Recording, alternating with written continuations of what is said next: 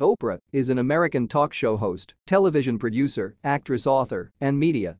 Proprietor, she was born in 1954 and she's aged 70 years.